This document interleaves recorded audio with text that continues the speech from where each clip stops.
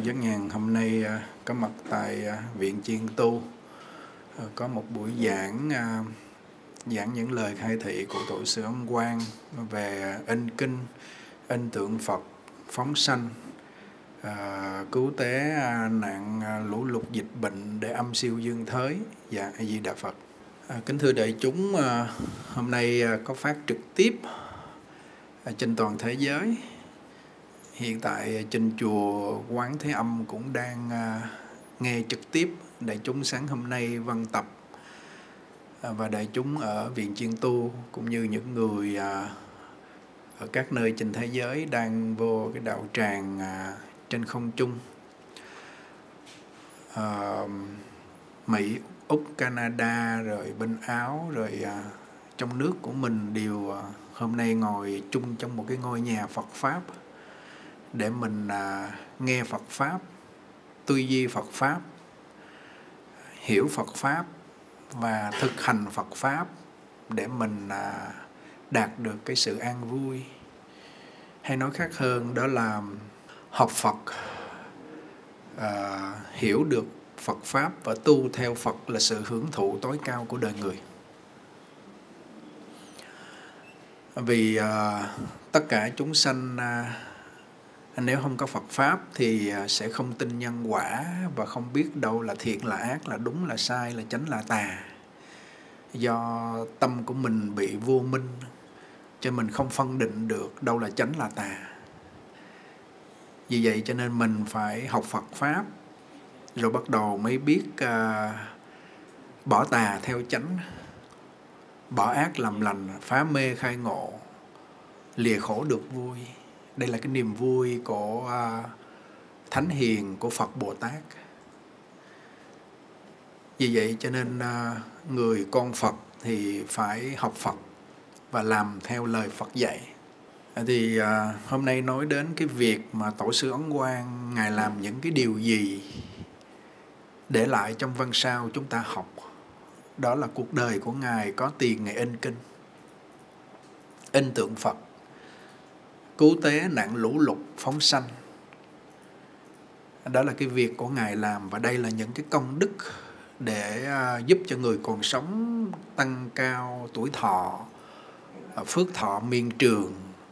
Những người đã mất nương nơi công đức này mà vãng sanh tây phương. Công đức này rất là thù thắng. Thưa quý vị à, chỉ còn hai tuần lễ nữa, đó là ngày 17 tháng 11 âm lịch năm Tân Sửu đến hôm nay còn à, đúng à, à, một tháng 28 ngày là đến Tết Nguyên Đán. À, thành ra thì ví Phật Di Đà thì mình không có tổ chức mời mọc lớn lao. Chỉ có tổ chức trong nội bộ và có cúng dường trai tăng phóng sanh rồi à, ngày 21 tháng 12 âm lịch á, thì chúng ta có cúng à, tất niên cuối năm. Thay vì ngày 19 thì nó lễ quan âm quý đại chúng cũng mệt rồi với hai nó nó vô thứ sáu trong vô chủ nhật. Vậy cho nên à, những cái lễ trong năm nay cũng như sắp tới thì không có tổ chức tụ tập các tỉnh về cũng như các huyện về chỉ tại địa phương gần chùa hoặc giải đại chúng thôi chứ không có tập trung đông do dịch bệnh là nhất là cái xã Hiệp An mình trên đó nó vô vùng đỏ rồi tức là nhiều người bị nhiễm F0 quá. Vì vậy cho nên à, ví dị đà cũng như là tất niên á thì cũng làm à, cái lễ trong nội bộ. Tuy nhiên cái ngày à, lễ à, tất niên nó sẽ làm à, cái lễ à, cúng trai tăng và có một cái cái lễ cúng thí thực lớn như mọi năm để cầu siêu cho các vị đã chết vì dịch bệnh cũng như tất cả các thai nhi. Đó là cái chương trình để thông báo với đại chúng à, biết như vậy. Thưa đại chúng à, cái ngày mùng 1 Tết đó thì hàng năm cũng sẽ chúc Tết mà chắc là cũng sẽ chúc Tết ở tại nơi viện chiên tu thôi. À, phát trực tiếp lên trên chùa sáng ngày mùng 1 á, sẽ làm một cái chương trình chúc Tết đầu năm à, chứ ờ, lên trên chùa và văn tập về đó thì đầu năm mà lỡ mà dịch bệnh ờ, không biết khi nào nó chấm dứt. Cho nên thành ra mình cũng không có lên cái chương trình cố định để tập tụ đông người được. À, vào khoảng ờ, à, 8 giờ sáng ngày mùng 1 Tết năm nay chỉ có 29 rồi mùng 1 thôi chứ không có 30 thì nói một số những chương trình như vậy để đại chúng biết và trên chùa của mình thì năm nay vẫn tiếp tục à, À, nấu bánh tét rồi đại chúng cũng làm một số những à, thức ăn để quý Phật tử bên ngoài cũng như đại chúng để dùng ba ngày xuân. Đó là chương trình à, thông báo để đại chúng biết cái trên chùa cũng đang ngồi nghe trực tiếp để mà biết chương trình như vậy để mình sắp xếp. À, vừa qua à, có cái video à, uh, chú nhuận tấn với lại thầy nhuận phiên có làm một cái video mà thầy nhuận phiên để hai cái từ là chuyện lạ, mà trong đó thì có thi kệ à, thầy nhuận minh đọc với hai lá thư với giác nhàn có nói về cái việc mà cô cô thủy à, cô mang cái bệnh à, covid dương tính mà cô vẫn bình thường nhưng không có chuyện gì xảy ra đó, là chuyện lạ. Cộng lại với nói đến cái việc mà cái ông đó ông tụng kinh phổ môn mà trong văn sao ấn tỏ dẫn chứng cái câu chuyện đó đó thì nhiều người họ nghe, họ thích. Mới hồi nãy vô xem lại, cái view nó lên đến 45.394 người. 45.000 thì đây là cái số lượng à, người lượt xem nhiều nhất từ xưa đến bây giờ. Chưa có cái đĩa nào mà số lượng nhiều người như vậy trong vòng chưa đến một tuần. Thường mình vào tầm khoảng à, một tuần thì khoảng 10.000 đến 15.000 khi hai chục thôi chứ không có thể đến 45.000 được. Thì giờ những người ở trên mạng họ xem như vậy thì uh, cái công đức của những người để mà truyền tải cái video này rất thù thắng. Chú nhuận viên với thầy nhuận phiên coi như là dày công khổ cực coi như là làm những cái đoạn phim này rồi thầy minh cũng đọc những cái lời trong văn sao ấn tổ mà văn sao ấn tổ mà lưu truyền đi thì pháp thí nó thù thắng hơn mọi thí công đức rất thù thắng. Vì vậy à, hôm nay à, có buổi giảng trực tiếp là bởi vì có cái phóng sanh ở bên ngoài đang để ngoài đó đáng lẽ ngồi bên ngoài để phóng sanh vào lúc 10 giờ và tuy nhiên hôm nay có một số ờ, quý Phật tử cũng gửi tịnh tài về để phóng sanh in kinh, nhất là kinh phổ môn. Vừa rồi đây có mẫu chuyện đó thì có nhiều người xin phổ môn. Có cô Kim Loan ở ờ, Sài Gòn cổ xin một cuốn giác nhàn tặng hai cuốn để cho bạn. Hiện tại cổ cũng đang ngồi nghe pháp trực tiếp ở đây. Đang phát trực tiếp ở Sài Gòn cũng nghe Giác Nhàn ngồi tại đây để phát trực tiếp. Một số những người họ xin, bây giờ thiếu kinh phổ môn, tiếp tục in lẽ dĩ nhiên xưa nay mình không có kêu gọi thiếu bao nhiêu tiền để in kinh. Có nhiều in bao nhiêu. Bây giờ tiếp tục in 2.000 cuốn kinh thì đợt này sẽ làm cuốn kinh A Di Đà với phổ môn đó, chung vô. Thì nó mỏng hơn không có kinh ngũ bích danh cho nên thành ra cái tiền nó cũng rẻ hơn. Có 35 ngàn một cuốn lúc trước là đến 69 ngàn 59 60 ngàn vì vậy cho nên nói như vậy để đại chúng biết và ai có xin kinh phổ môn thì mình xin về để mình tụng tại nhà thì mãi đến hôm nay hơn 2 tháng mỗi buổi sáng 3 giờ mấy 4 giờ giác nhàn dạy tụng và đại chúng ở tại viện chiên tu cũng như là trên chùa quan âm tụng đó thì cảm được cái bộ kinh phổ môn này và cảm được cái cái năng lực bất khả tư nghì vô tác diệu lực của Bồ Tát Quán Thế Âm rất là màu nhiệm. Và hôm nay uh, chiều đại chúng tu 2 giờ đến 4 giờ ở tại viện chuyên tu cũng như trên chùa tụng thêm phổ môn nữa. Kinh phổ môn này đặc biệt lắm. Vậy cho nên mình in ra để mình tặng miễn phí. Đối với chúng tôi thì xưa nay cũng không kêu gọi gì cả. Có một số những Phật tử mạnh thường quân, họ có cái tính tâm và họ có có phát tâm cho pháp hội của mình làm à, những công việc phật sự thì hỏi họ thử coi có phát tâm một vài người, mình hỏi thử coi nếu mà họ không phát tâm thì thôi, không sao. Cái đó là cái cái thân cận, gọi là cận sự nam, cận sự nữ, chùa nào cũng có để mà họ hộ pháp. Nếu mà họ có điều kiện được thì họ phát tâm, còn nếu không thì không sao. Chứ bản chất chúng tôi thì không kêu gọi. Thực sự mình nói để họ phát tâm, để họ cúng dường, để họ tích phước thôi. Còn riêng việc để in kinh, phóng sanh và xưa nay thì để tùy tâm họ thì nó tốt hơn. Đó là cái cái mục tiêu chúng tôi là vậy. Cho nên mong đại chúng ở đây cũng như là ở trên chùa đang ngồi coi trực tiếp này mình à, cũng không nên gợi ý, kêu gọi những người phật tử bằng một cách à, cộng đồng mà không quen biết gì. Khi họ gặp mình cái là mình đặt vấn đề về tài chánh, về cái việc họ giúp mình thì họ sẽ bị dị ứng liền. Thứ nhất là không không chuẩn bị kịp. Thứ hai, không biết là họ có ân nghĩa với mình hay không họ mang ơn mình nhiều hay không? Dẫu cho mang ơn nhiều thì cũng không nên kêu gọi. Cho nên chúng tôi giữ cái lập trường từ xưa nay và và nhất là bây giờ phải giữ cái lập trường là không nên kêu gọi. Vì mình kêu gọi họ thì họ đánh giá mình ngay. Tuy nhiên có một số những người mạnh thường quân là họ thân cận, gọi là cận sự nam, cận sự nữ. Có nhiều lúc kinh tế họ eo hẹp hoặc giả, nhiều lúc họ cũng ờ, không chuẩn bị họ cũng ờ, hơi suy nghĩ một chút nữa vì vậy cho nên theo đường hướng của ấn tổ là có nhiều làm nhiều. Họ thường tịnh không cũng thế. Có nhiều làm nhiều, không có thôi. À. vì vậy cho nên hôm nay chúng ta nói như vậy để cho quý thầy nếu mà còn gia đình ở tại quê nhà mình đó thì nên khuyến khích viết một cái lá thư hoặc giả lấy cái mẫu chuyện mà vừa rồi thầy Minh đọc mà giác nhàn soạn ra đó, gửi về tại nhà để cho gia đình của mình thấy cái mẫu chuyện của một cái ông đó mà ổng tụng kinh phổ môn mà nhà ổng không dịch bệnh mà cả cái khu làng đó cũng không dịch bệnh luôn. Do Bồ Tát Quan Âm ứng hiện trong giấc mộng báo ổng là nên đem phổ môn để cho mọi người và nhiều nhà tụng cho nên nó có kết quả. Thường mình chỉ niệm quan âm không thì cái người căn lành rất sâu dày, họ niệm nó vô công phu và họ họ đề khởi được. Còn bình thường niệm nhiều lúc nó quên, nó chán cần phải có phổ môn dặm tụng hàng ngày cho nên mình mới thấy cái công đức lực dụng của ngài với cái sức gia trì trong kinh đó, thì mình mới nhớ được danh hiệu mình niệm chứ không phải dễ đâu ngang. Đó mấy anh em coi đi. Nhiều lúc mình mình tha thiết mình muốn niệm danh hiệu Phật danh hiệu quan âm lắm nghe vậy mà niệm không vô. Chập cái loạn loạn nó đi đâu à? Đúng không?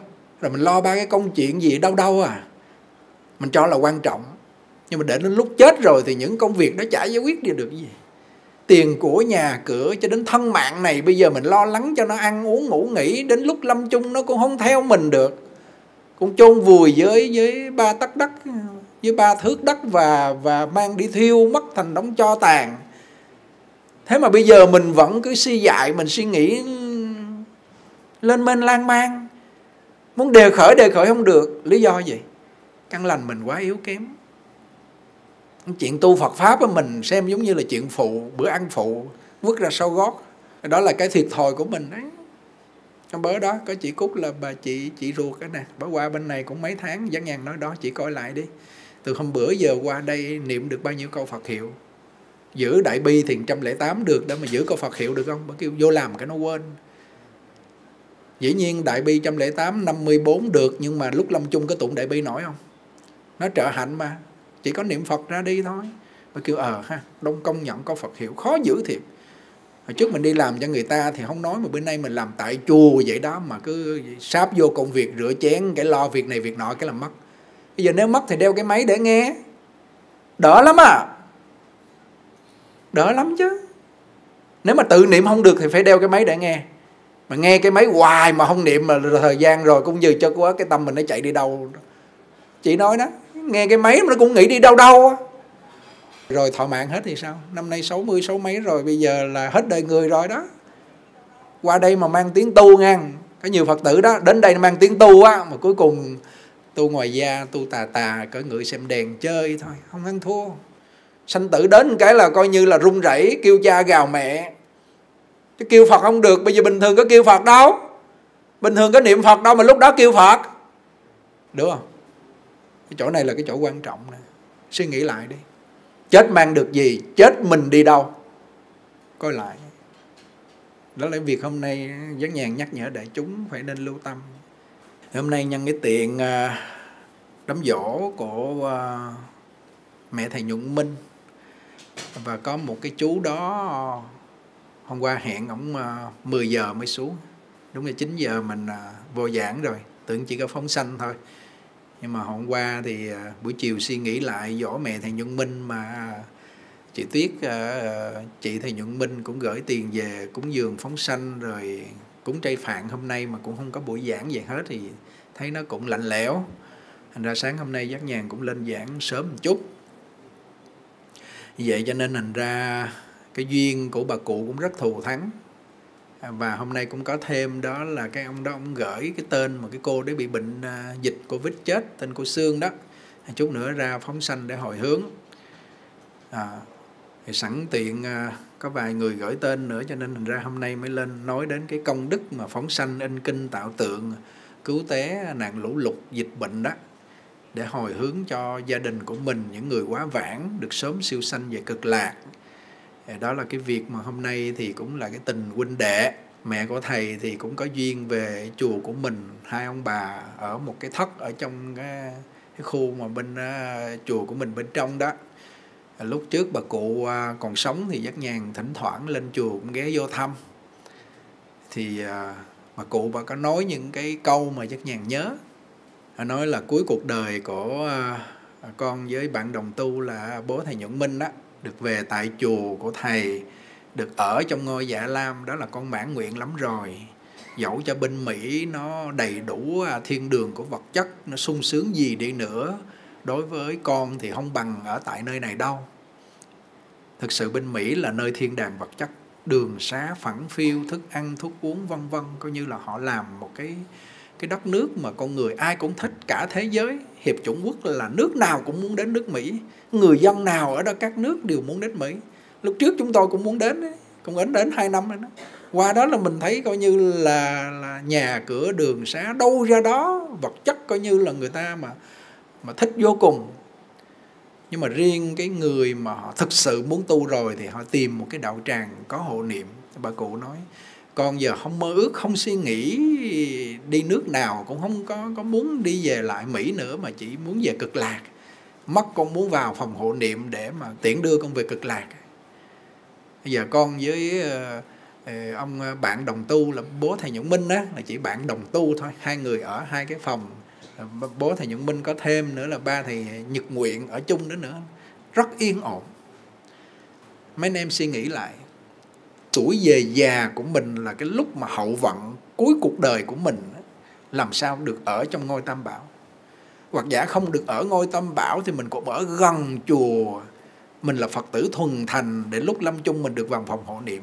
Cái chỗ này là cái chỗ quan trọng. Chứ nhiều lúc mình tu à, lúc bây giờ thì tu tốt lắm, nhưng mà năm sáu mươi tuổi lúc cuối đời rồi bắt đầu mình về với con cái. Hoặc giả mình đi xa chùa, xa cái nơi bạn đồng tu thì mình coi chừng thất bại phải nguyện làm sao giống như mẹ thầy nhuận minh mà cuối đời được vào phòng hộ niệm. Đúng y vậy. Cuối đời bà cụ đi vào trong phòng hộ niệm và hộ niệm cho bà ra đi. Và và coi như thầy nhuận minh với đại chúng hộ niệm, bà ra đi thân tướng rất là đẹp, hoan hỷ vô cùng. Bà cụ đi trước, ông cụ vì vậy cho nên vấn nhàn mong rằng à, quý thầy khi bắt đầu mình đã biết pháp môn tịnh độ rồi mình làm sao để cho cha mẹ của mình Phật hóa gia đình để cho gia đình mình bắt đầu thuần thành pháp môn tịnh độ. Để lúc lâm chung coi như là họ được về Tây Phương Cực Lạc đây là đại báo hiếu. Còn nếu mà mình cho cha mẹ mình của cải vật chất giống như thầy Nhuận Minh ví dụ thầy không đi tu đi thầy ở bên đó, thầy làm kỹ sư, bác sĩ, thầy làm cái gì thiệt là có điều kiện vật chất đi nha. Rồi cho cha mẹ của thầy đi nước này, nước nọ, hưởng đầy đủ vật chất sung sướng đi. Thì đó là cái cái hưởng về về cái niềm vui của thế gian. Thì ấn tổ nói cái việc này chưa phải là đại hiếu, bởi vì họ chết, họ vẫn sanh tử luân hồi. Nhiều lúc ở chung với nhau như vậy đó, có những cái chuyện phiền não bất chắc xảy ra nữa, bất an xảy ra. Vì lý do gì vậy? Họ chỉ hưởng vật chất, họ không biết tu. Họ đầy đủ của cải vật chất đó, nhưng mà họ không biết tu. Cho nên bà cụ mẹ thầy nhân minh là bà biết buông xả. Vật chất của cải thiên đàng ở ở bên nước mỹ, bà buông một cái một đi về ở một cái cốc đơn giản, bà ở bên đó bà tu. Biểu pháp rất tốt. Cho nên hôm nay thì coi như là thực sự công việc đang làm nhà dưỡng lão, hôm qua đổ bê tông đồ, thấy nó cũng không được khỏe. Nhưng mà điều hôm nay vì cái dỗ của bà cụ, cho nên thành ra cũng lên để tán thán cái công đức của bà cụ để làm biểu pháp cho các cụ. Mà các cụ hiện tại đang ở tại viện chiên tu, rồi đang ở trên tỉnh thất, tuy đang ở ngoài tỉnh thất, nhưng mà mình cũng là gì? Cũng là người trong tỉnh thất. Chừng lúc mà bệnh hoặc yếu già đưa vào hộ niệm cũng y chang như các cụ ở trong, không khác gì hết chúng tôi là bình đẳng không phải là cha mẹ anh em hoặc là mẹ thầy nhuận minh mẹ thầy nhật, nhật tánh hoặc những cụ nào mà gọi rằng là ở trong chùa thì mình mới có thể lo cho họ nồng hậu đầy đủ. Còn những người ở ngoài mình không có lo cho đầy đủ thì cái tâm mình có phân biệt. Vì mục tiêu mình là lo cho họ về cực lạc thì người ở ngoài ở trong người xa lạ gì mình cũng đem họ về cực lạc hết mà hãy đem họ về cực lạc được và và khuyến khích họ niệm Phật để vãng sanh về cực lạc. Để một phàm phu đã thành Phật thì công đức thù thắng. Mà nhắm nơi chỗ công đức này chứ không phải chỗ thân thân sơ. Đó, mấy anh em ở trên chùa giờ đang ngồi nghe đó. Thầy thầy Nhật Thiện, chú Nhuận Hiền rồi đó. Là mình phải làm sao là coi tất cả những các cụ đó đó là như cha mẹ của mình. Như rồi chú Quảng, ông thấy ba cụ ở đây bị bệnh. Cụ Đức ngồi đây nè cụ Đức là thường là cụ bên Đức về mà bà tám mươi mấy tuổi rồi. Chú nói nói bạch với thầy Nhuận Minh rồi con à, lấy xe bảy chỗ uh, Hyundai uh, của sư phụ đưa các cụ đi kêu được. Lấy tiền đưa các cụ đi khám lo cho các cụ giống như là mẹ của mình đi. Thực sự lo cho họ như vậy nói chân thật không phải hôm nay chúng tôi nói làm được rồi bắt đầu kể công khoe khoang không phải. Mà thực sự trong tấm lòng của chúng tôi xem các cụ giống như là người thân thân bằng quyến thuộc của mình thì mình mới có thể giúp cho họ được được vãng sanh. Ngay bây giờ mình kết duyên với họ như vậy. Đó là cái việc mà hôm nay chúng tôi à, mong làm sao những người mà à, đang à, ở trên tỉnh thất như ở dưới này học một cái biểu pháp của bà cụ mẹ thì nhung minh là cuối đời là vào phòng hộ niệm. Bà có cái nguyện vậy cho nên cuối đời bà vô phòng hộ niệm. Còn bây giờ mình còn nghĩ lan man, lên mênh còn mình bây giờ là còn nghĩ mà con cái rồi nhà cửa rồi tiền bạc mình nghĩ đủ kiểu hết trơn thì lúc lâm chung nó đi theo ý niệm đó à. Ý niệm hiện tại nó quyết định cho cái lúc lâm chung và cái lúc tương lai mình à, bỏ xác thân này cái tâm thức mình đi đâu á. Như vậy hôm nay bà cụ mất à, ba bốn năm bốn năm năm hoặc giả có những người mất một hai năm đó thì mình hồi hướng cái công đức in kinh phóng sanh có được siêu thoát không? Được. Chắc chắn là được chúng tôi nhớ đó là là có tên tên cô bé này chắc cũng hai mấy tuổi, tên bé Trang.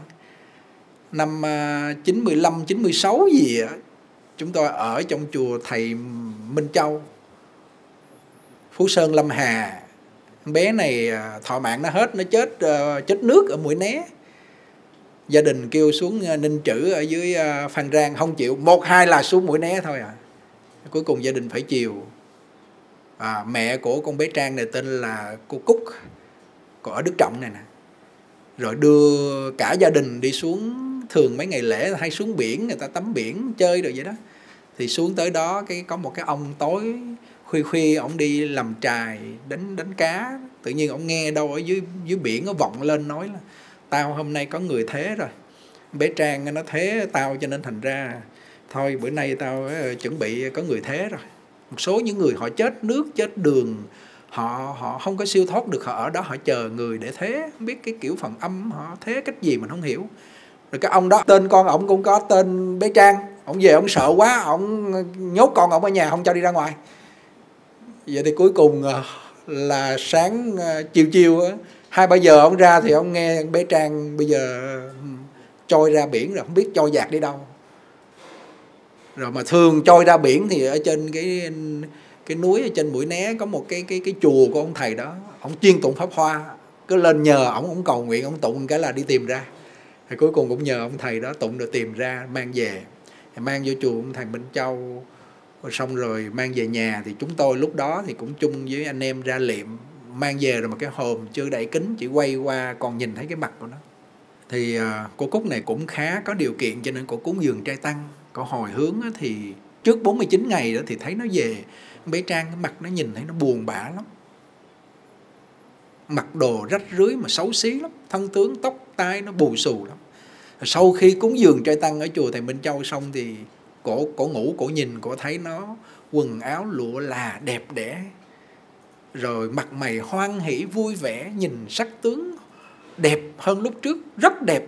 Mà nó chào cổ là nó đi luôn nhờ cái phước mà cúng dường trai tăng đó mà bé trang này đi siêu thoát. Tuy nhiên những người như mẹ thầy minh hoặc là mẹ của giác nhàn, ông cụ, những gia đình của quý vị, có những người đã mất lâu rồi, đúng không? Họ họ tái sanh để làm người hoặc sanh lên cõi trời hoặc về cực lạc, mình cần cúng không? Cần.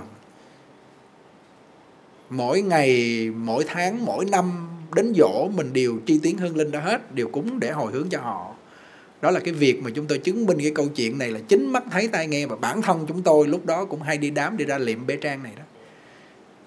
Đó là cái việc mà chúng tôi nói con người chết không phải là mất đâu. Những cái đạo giáo mà lúc Đức Phật còn tại thế là chấp đoạn là con người là là chết, là cái xác thân này chôn xuống đất hoặc giả họ thiêu ra thành cho rồi đó. Thì cái linh thức đó con mắt thịt, mắt phàm mình không thấy thì mình nghĩ cái linh thức đó là không có, đúng không? Nhưng mà cái cảnh giới họ, cái thân trung ấm họ không tương đồng với mình cho mình nhìn không thấy, chứ thực ra có. Có cái linh thức đó chứ. Cho nên con người, họ mới có thể là đầu thai làm người, rồi sanh địa ngục, ngạ quỷ súc sanh, trời người, atula. Sáu cõi luân hồi có mà. Trong kinh nói có, đúng không? Mà trong sáu cõi đó thì mình chỉ nhìn thấy được cõi người với cõi súc sanh thôi. Chứ địa ngục, ngạ quỷ, cái thân trung ấm là cái thân nó khác với tần số nó khác là mình nhìn không thấy rồi đó là cái việc mà à, mình phải lo cho cái tương lai của mình tích lũy những cái vốn liếng gì để mình đi về thế giới bên kia rất là quan trọng. Rồi có một cái câu chuyện đó là cái ông này ổng ở cái câu chuyện thì nghe lại chứ không thấy trực tiếp mà nghe lại rất chính xác. Ông này ông cũng có địa vị ông cũng giàu có. Ông lo lắng nhiều quá cái ông bị uh, tai biến đột quỵ cái ông chết. Thì khi mà mà có thân thế giàu có thì nhiều người đến để viếng viếng của ông đám tang mà khi mà mà nhận phúng điếu rồi mà người mà có được tiếng tâm mà à, gọi rằng là à, quan hệ tốt với nhiều người là thì thôi tiền cũng thiếu đôi khi lên cả tỷ. Nhiều lắm. Thì cuối cùng ông này à, phúng điếu xong thì xây cái mộ cũng khá lớn. Sau đó rồi 49 ngày cúng à, 49 ngày thì họ cúng mặn bây giờ họ đâu có biết đạo đâu. Thì khi mà cúng mặn thì ông về ông thương cái đứa cháu nội đó đứa cháu gái đó ông thương nó dữ lắm. Lúc chết mà coi như ông thương lắm.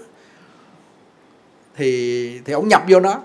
Mà khi ông nhập vô nó thì nó mới 9, 10 tuổi, 11, 12 tuổi thì mấy đứa nhỏ nó nói tiếng con gái nhỏ nhỏ thì phát hiện là cái tiếng của nó mà ông nói y tiếng của ông luôn.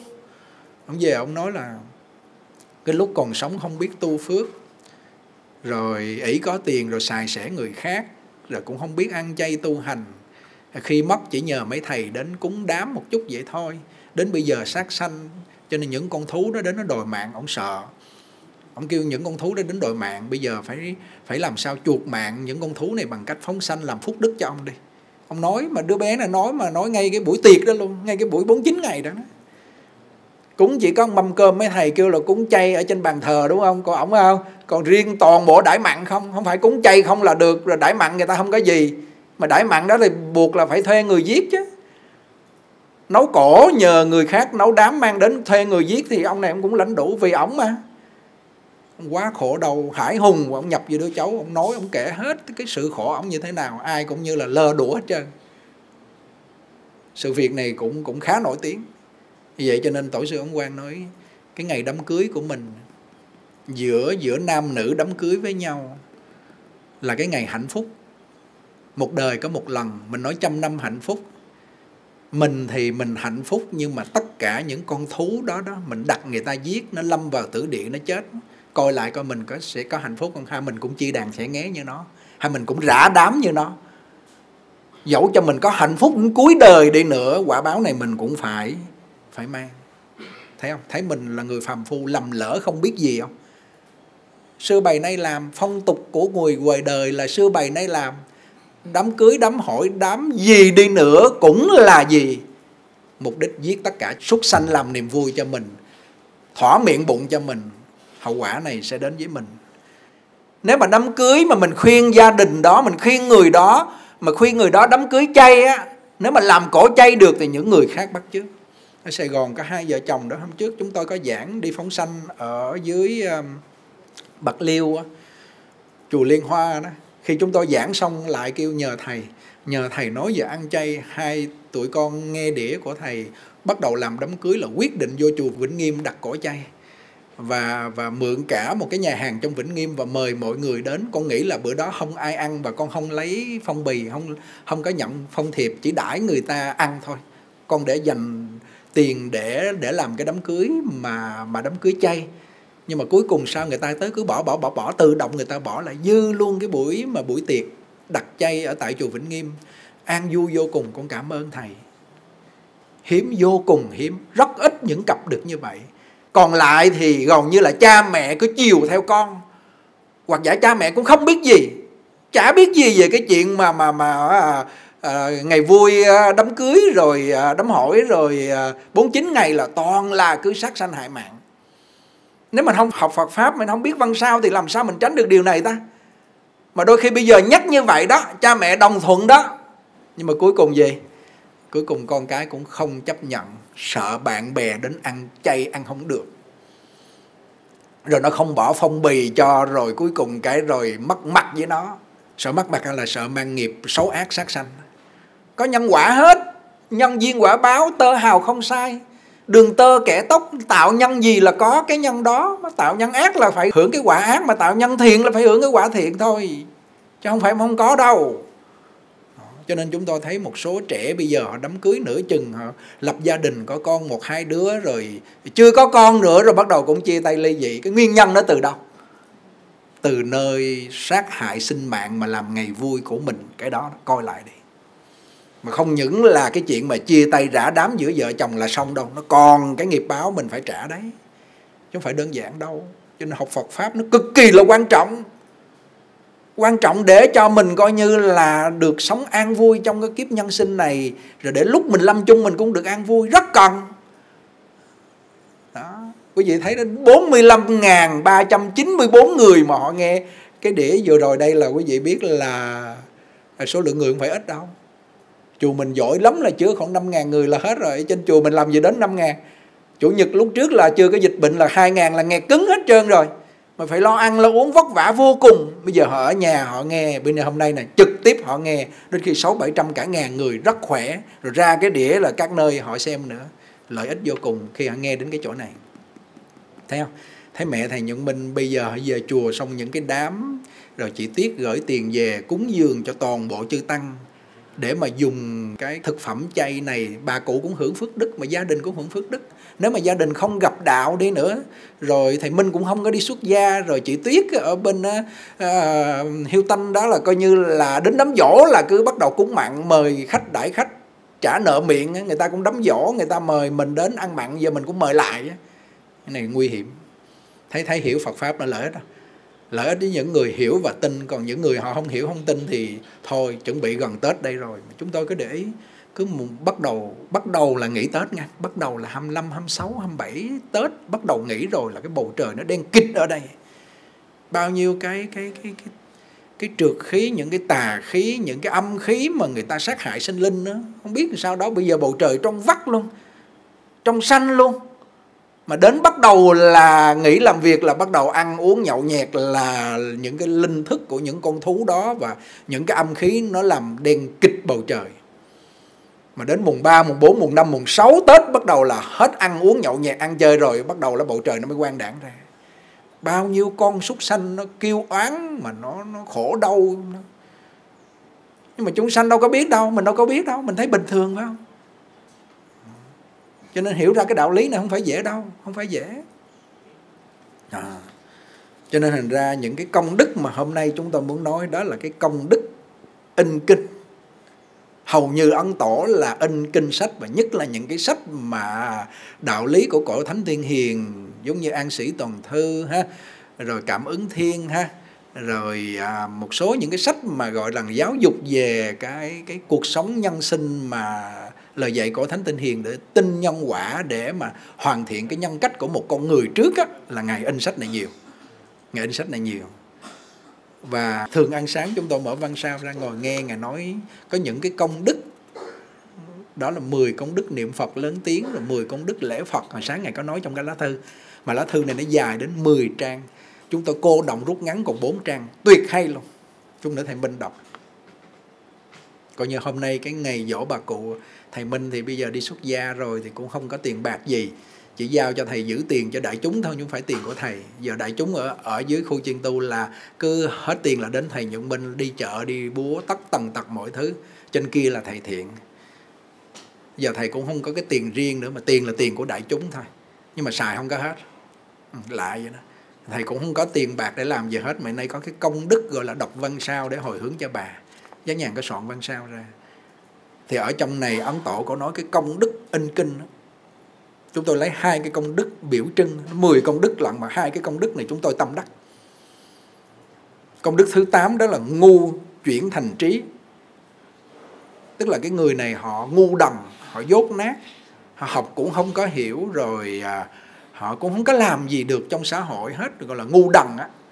Thì họ in kinh phải không? Mà họ in không được, họ không có tiền in, phải không? Họ gọi điện đến số 0909747474 họ xin 3 cuốn 5 cuốn 10 cuốn 100 cuốn luôn.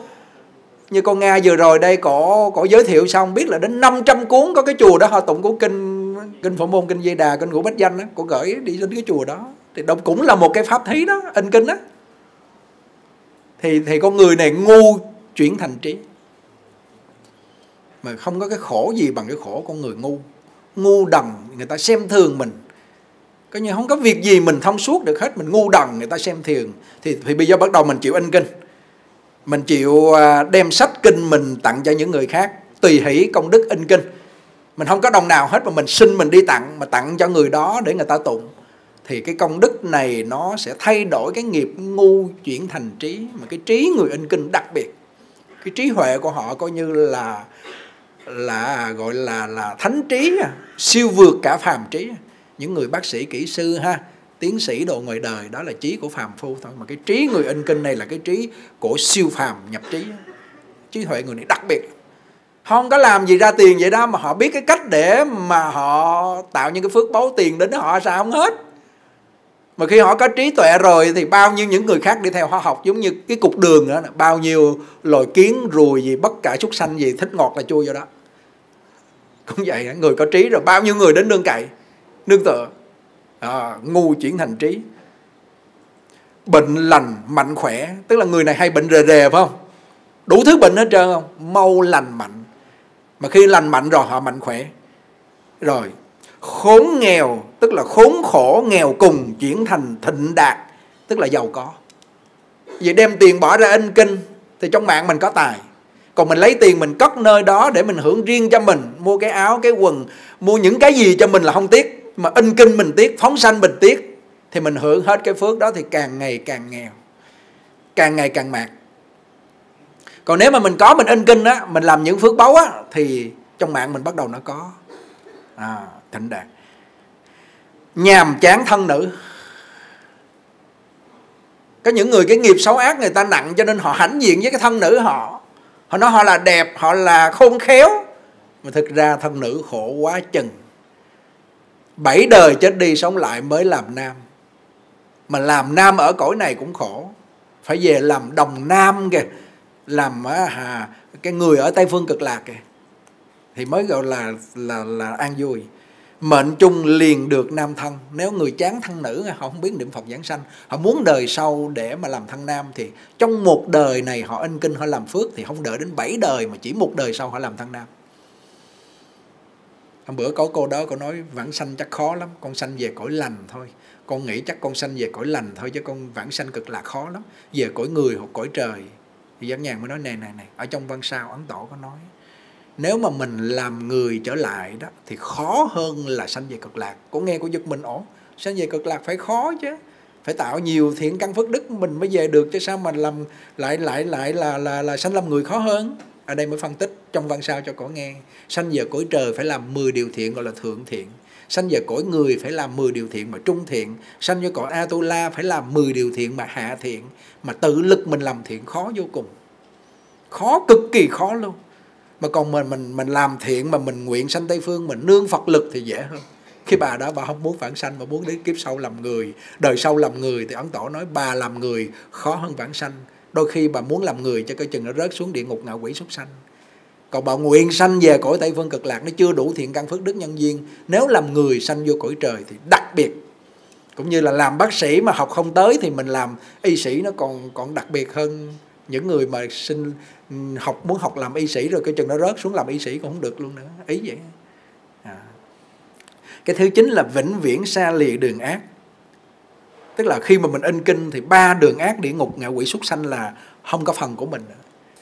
Thường mình thích in kinh, mình thích tụng kinh, mình giới thiệu kinh cho người khác tụng á, thì ba đường ác địa ngục, ngạ quỷ súc sanh, đây là ba đường ác. Mà ba cái nhân để đi vô ba đường ác đó là tham sân si ba cái quả để con người đi vào đó là địa ngục ngạ quỷ súc sanh. Mà cái nhân để sanh về đường thiện mà tối thượng thiện tây phương cực lạc đó là là niệm nam mô di đà phật. Nó có nhân quả hết à, à vĩnh viễn sẽ lì điện ác. Thường thích in kinh thì người này không có sợ đọa vào đường ác cả nha. Sanh vào cõi thiện tướng mạo đoan nghiêm tâm trí siêu việt phước lộc tròn đầy. Nói về cái phước của chúng tôi thì thực sự, hôm nay nói anh em huynh đệ ngồi đây với quý phật tử ở trên chùa, khắp nơi trên thế giới à, nghe là là cái chúng tôi gọi là bạc phước. Coi như là phước báu nó cạn mỏng vô cùng, sanh trong gia đình cũng nghèo khổ. Bà cụ bà buôn buôn bán bánh hỏi mà 40 năm gây ghe bánh hỏi, một năm bà dư được vài cây vàng, có khi được một cây vàng. Khổ cực vô cùng. Thực sự, chúng tôi đi xuất gia cũng vất vả thiếu thốn bệnh hoạn. Đến cái lúc mà ở chung với ông cụ năm 2000 cũng thiếu thốn. Từ từ thân của mình đi giảng, đi coi phong thủy, đi cúng, làm đủ kiểu nhưng mà 7 năm trời vẫn thiếu thốn là thiếu thốn. Bình ga không có tiền mà mua luôn. Bây giờ mình nhìn lại, mình thấy là là coi như cái phước báu mình đời trước cũng cạn mỏng mà đời này không biết cách để mà mình tạo phước báu sau đó nghe hòa thượng tịnh không nói là nên ở tại nhà niệm phật đi rồi nên in kinh đi, nên phóng sanh đi, nên giảng pháp đi. Nghe vậy cái bắt đầu mình làm theo. Trong 3 năm 207 đến 210 bắt đầu là gì? Thấy cái sự à, khởi sắc nó có. Phật tử bắt đầu đến, họ cúng dường, rồi quý thầy nghe đĩa. Hôm nay tất cả các thầy dưới này, các Phật tử, cũng như là tất cả các thầy và các Phật tử ở trên chùa Quán Âm là gần như nghe đĩa của giác nhàn hết mới đến bắt đầu từ từ từ từ rồi à, nuôi các cụ xong giờ nuôi, lo lắng cho các thầy thành một cái đại gia đình. Mà đến hôm nay cái sức chi phí cũng khá lớn chứ không phải nhỏ. Tiền điện không cái là năm mươi mấy, sáu chục triệu hàng tháng đều tự động tài khoản phải trả điện lực. Chưa nói ăn uống bệnh hoạn, tất tần tật mọi thứ. Trên 200 là bình thường rồi vậy mà dịch bệnh thế mà họ vẫn có phát tâm họ cúng dường. Không một tiếng than vãn kêu gọi. Mình than vãn, mình kêu gọi, mình không lo tu, mà mình cứ cứ đi nương cậy mà kêu gọi thì thực sự à, không có đâu. Trong mạng không có thì kêu kiểu gì cũng không có đâu. Chân thật lo tu đi. À. cho nên thành ra chúng tôi tin vào những công đức in kinh này, công đức phóng sanh. Đều nói là gì? Xa lì đường ác sanh vào cõi thiện tuy rằng mình, hiện tại mình chưa sanh vào cõi thiện, nhưng mà tướng của mình khác hẳn. Tướng mình thay đổi. Đó là cái việc mà hôm nay nói về cái công đức anh kinh như vậy. Giờ nói đến cái à, việc à, những cái lời khai thị của ấn tổ mà trong à, thi kệ. Thì hôm nay có những cái những cái đoạn mà thi kệ nói về nhân quả của của tổ sư ấn quang và nói về cái kiếp vận tức là do cái kiếp vận tức là cái con người mình tạo những nghiệp xấu ác nhất là nghiệp sát sanh. Cho nên sanh ra dịch bệnh. Đây là đang thời vận mà kiếp vận của con người mình bước vào cái à, cái ngưỡng cửa mà coi như là nguy cấp. Nguyên do từ đâu này? Trong thi kệ nói thì mình lên đọc. Nam mô Bổn sư Thích Ca Mâu Ni Phật. Nam mô A Di Đà Phật.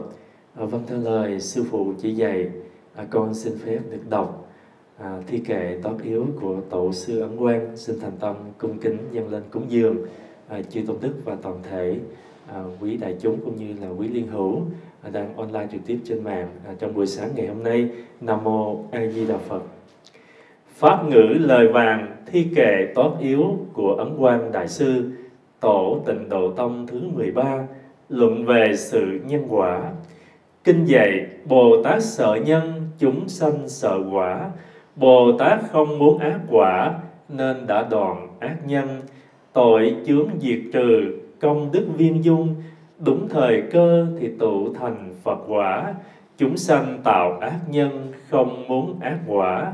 Chẳng hiểu rằng nhân quả như bóng theo hình. Kẻ ngu si vừa làm chút ít việc lành, liền mong đợi gặp được nhiều đại phước. Khi nghịch cảnh đến liền cho rằng trái ngược nên không tin nhân quả, thoái thất sơ tâm, lại sanh ra bài bác pháp thầm thâm, nào hiểu được hiện sanh và hậu báo, quả thông ba thời do một tâm gây tạo, thì cũng do tâm chuyển đổi nghiệp trần hoàng vương nghiệp thương, chu mấy ai biết gốc nguồn, chính từ việc tắc khiết phò tá vua thuấn vũ phật nhãn viên minh thấy nhân duyên đầy đủ, thiên nhãn thanh văn chỗ thấy có ngại ngăn. Huống chi là con mắt của phàm nhân, chỉ thấy được việc xảy ra trước mắt. Nên kinh kim cang dạy rằng, nếu có kẻ trì kinh gặp người chế nhạo, người ấy do nghiệp xưa sẽ đọa vào ác đạo. Nhưng vì bị người khinh, nên nghiệp cũ tiêu tan sẽ chính thành quả phật cũng do tâm, khiến nghiệp địa ngục chuyển xây thành nhạo báng phải biết rằng kẻ ác mà được phước phước báo kia đời trước đã gieo trồng. Phước càng lớn hơn nếu biết giữ thiện tâm, nếu làm ác phước xưa dần tiêu tán. Ví như con nhà giàu ăn chơi phóng đảng, chưa đói nghèo bởi có sẵn gia tài việc tán gia bại sản có hẹn ngày, hiền gặp dữ dữ gặp hiền cũng như đã nói. Vui thuận theo thời chẳng màng, giàu sang nghèo đói. Đêm ngày lo việc tích đức tu thâm tận tánh là sống tận thiện với tánh chân. Phú bằng thọ yểu nhân quả chưa từng thiên vị. Khi việc đến thì rõ kẻ ngu người trí ví như trong hình ảnh hiện mặt gươm, kẻ ngu thì bận biểu với ghét, với thương. Người trí biết chỉ là gươm in bóng. Thân khẩu ý tạo nên ân sâu đức trọng, mà cũng là ba cánh cửa ngục môn. Lấy pháp quả nhân làm nền tảng tu thân. Khi thành tựu đạo, thượng cầu hạ hóa. Vào pháp thầm thâm, kinh văn là chìa khóa mạch đạo thánh hiền dấu ấn thiên thư. Nếu không văn tự xử lý chẳng thể truyền lưu, nên phải biết kính lời và trọng chữ. Người đời nay quen xem thường văn tự giấy bút thừa, hí hoáy chuyện nhảm bàn. Chủ ý mua danh, bán tiếng với những kẻ rảnh rang, làm nhơ nhuốc văn chương và chữ nghĩa. Phải tự biết rằng với văn tự hữu hình không được làm ô uế, với văn tự vô hình như trung tính nghĩa nhân, mang theo bên mình cho hết đoạn đường trần, khéo kẻo lạc đường mê xa bổn tánh. Số 3 nguyên do của kiếp vần. Cái khổ trong xa bà chẳng thể nào tính kể, thiên tai binh lửa người rất dễ giết người ác nghiệp chiêu cảm, ác báo vạn vạn đời. Mau tu niệm cầu vãng sanh lạc quốc trở lại ta bà với thần thông đại lực. Trên cầu bồ đề, dưới giáo hóa chúng sanh. Đó là nguyên do cầu được vãng sanh. Người gieo nhân ác, sẵn dành quả ác. Lúc thọ quả báo lại tìm đường chống bán. Nên oan ương qua lại, chẳng khi dừng không biết rằng nguồn gốc chẳng phải bỗng dưng, không biết quả ác đã nhiều đời trồng cấy. Đời loạn lạc người trí kẻ ngu đều phải thấy, trách nhiệm của riêng mình đứng giữa nhân gian.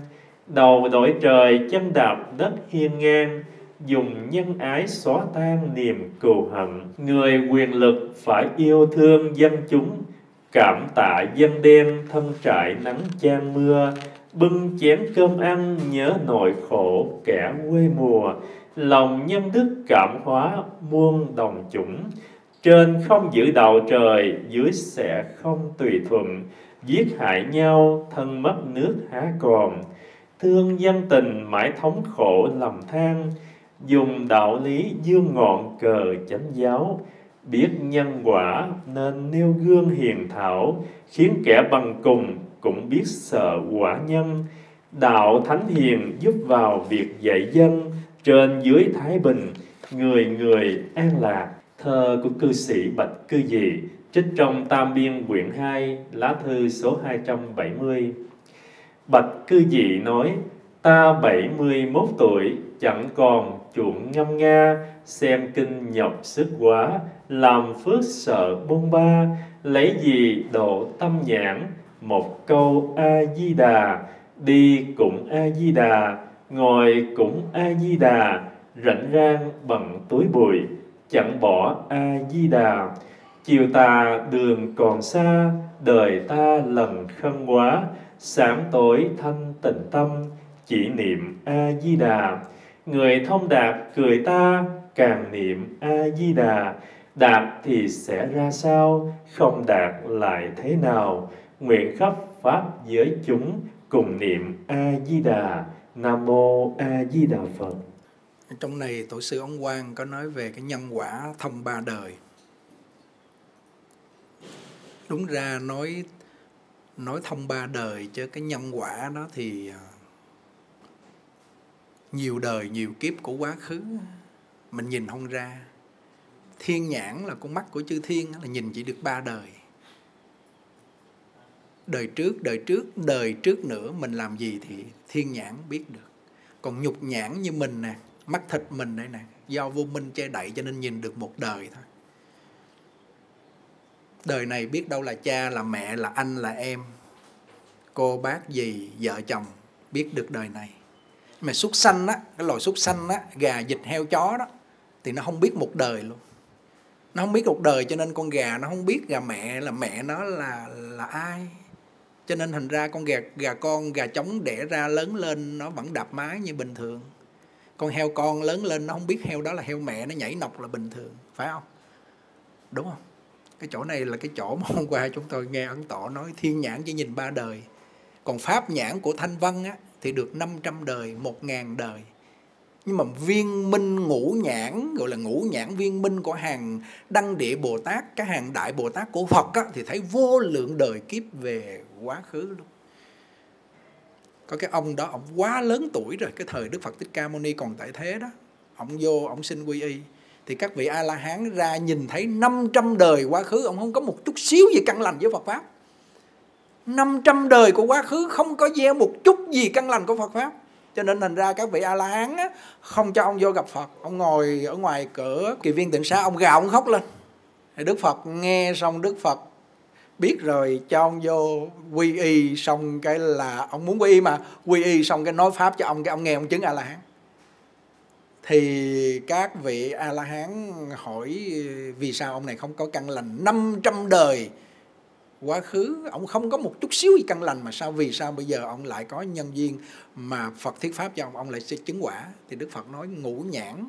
Nói về cái cái pháp nhãn của thanh văn, ông chỉ thấy 500 đời thôi còn vô lượng đời kiếp trước là ông này ông bị hổ đuổi. Cho nên thành ra ông sợ ông leo lên cây, ông chỉ nói là nam mô Phật thôi.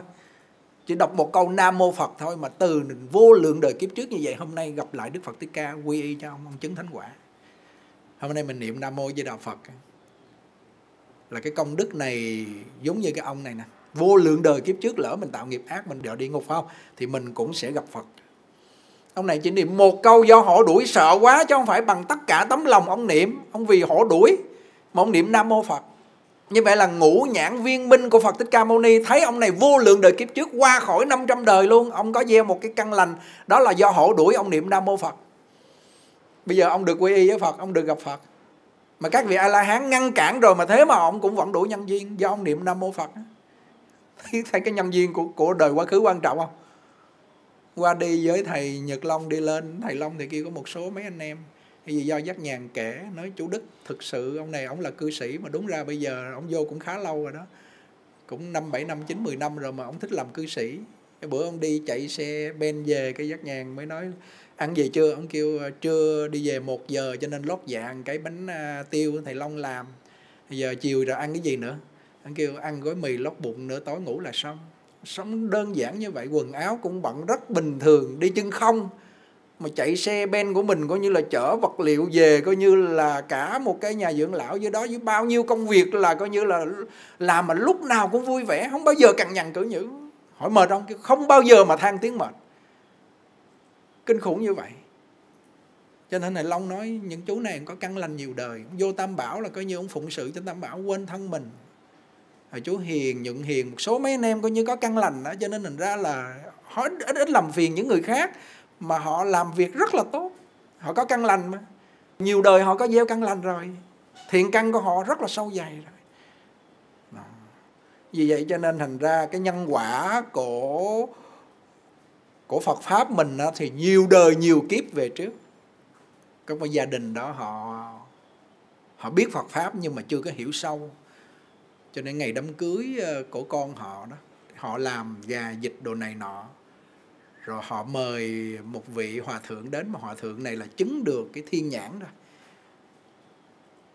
Thì nhìn vô thấy đời trước của con gà này là bà nội, đang nằm ở trên cái dĩa đó luôn. Rồi con heo đó là ông nội luôn. Nói những con súc vật đó là người thân bằng quyến thuộc, hôm nay gia đình giết giết cha mẹ quá khứ để đãi con cái cha mẹ trong hiện tại. Người cứ ổ sao mà giết con gà ông nội bà nội giết gia đình như vậy? Thì gia đình kêu ổ sao mà hòa thượng nói kỳ cục vậy này bắt đầu mới nói cái chết của gia đình ông nội bà nội sao bây giờ đọ làm sao? Ngài chứng thiên nhãn ngài thấy còn phàm phu con người đó chưa chứng là cái gia đình mà đang đãi để đám cưới đó đó. Thì gì? Thì đâu có thấy cho nên hình ra gà súc sanh giết bình thường. Ông nhìn thấy ông chồng ông kêu là hai người này đời trước là là là, là à, cha mẹ coi như là đời trước là không phải là vợ chồng đời trước là coi như là người thân bằng quyến thuộc á. Con cái á, với nhau nếu mà đứng mà về mà con mắt của thiên nhãn là nhìn thấy ba đời thôi thì thấy đời này là vợ chồng mà đời trước là gì anh em á. Anh em ruột thịt á. Cho nên đứng về con mắt của thiên nhãn mà nhìn về cái cái cái cái việc mà mà người chứng thiên nhãn thì mình đang loạn lung á. Loạn lung của của của những đời về trước. Đời này thì cho phép đời này thì cho phép mà thực sự mà nhìn sâu xa là bây giờ con phải không? Đời trước là cha mẹ. Con mình bây vậy mà trước là, đời trước là cha mẹ mình. Họ chứng thiên nhãn được, họ thấy ba đời. Còn pháp nhãn của a la hán là thấy 500 đời của quá khứ luôn. Cho nên nói về pháp nhãn và thiên nhãn thì mình đôi coi chừng loạn luôn mà mình không biết. Nhưng mà cuộc sống vẫn cho phép như vậy nhưng mà mình mình thực sự là chỉ có là phàm phu thì mình thấy là như vậy. Nhưng mà súc sanh á, thì nó tệ hơn nữa thì nó không thấy một đời luôn. Gà vịt heo chó đẻ ra lớn lên là cha mẹ quan hệ con cái. Con heo con với heo mẹ là chuyện bình thường nó có biết gì không? Đâu biết đâu. Đúng không? Đó là là loài súc sanh thì cái phước họ quá kém rồi si mê nó quá sâu dày và nó không còn hổ thẹn không biết cha mẹ gì luôn. Nhưng mà đời này con người mình cũng có cái loạn lung và không biết điều này nhiều lắm. Báo cũng có đăng mà chúng tôi cũng có nghe. Cha chồng lấy nàng dâu luôn, ăn nằm luôn, quan hệ với nàng dâu luôn. Rồi con cái coi như là là quan hệ với những người đáng lẽ là cha mình nha. Mà bây giờ là gì? Là thành chồng. Có trong đó. Nhiều lắm. Vì cái dục này khi nó khởi lên thì nó không phân biệt nữa. Nó si dại mất tiêu rồi. Cha ruột đôi khi mà về cũng hành dâm với người con gái của mình luôn có trong đó. Họ không có còn một cái lương tri một cái hiểu biết giống như súc sanh họ đồng súc sanh thì ấn tổ nói đời này là súc sanh thì đời sau phải là súc sanh. Chắc chắn là như vậy. Tuy rằng mang thân người thôi. Ghê chưa? Ghê không? Nhân quả nó có nhưng mà mà súc sanh thì không thấy một đời. Con người mình chỉ biết một đời thiên nhãn thấy ba đời. Trời ơi, nghe trong văn sao ấn tổ nói Pháp nhãn của hàng thanh văn là thấy 500 đời Còn ngũ nhãn viên minh của Phật là thấy trăm ngàn vô lượng vô lượng đời kiếp. Mình làm gì làm gì Ngài biết rõ luôn. Kinh khủng chưa? Hay cực kỳ trong văn sáng Nó nói hay lắm. Về cái việc uh, giới sát Việc giới sát sanh Thực sự là khó giữ. Nếu người ngoài đời mà thực sự mà mà quan hệ làm ăn để mà mà à, à, đối tác với nhau. Họ mời đi ăn mà mình không ăn thì coi như mình chê rồi mình à, à, không có cái sự hợp tác á, thì thực sự là khó khăn về cái việc ăn chay. Nhưng mà có một số mấy cái vị mà chúng tôi biết nổi tiếng như ông giám đốc à, nhà máy tôn bông sen mà mà cổ phần mà ông hoàng lược mà ông vũ đó đó.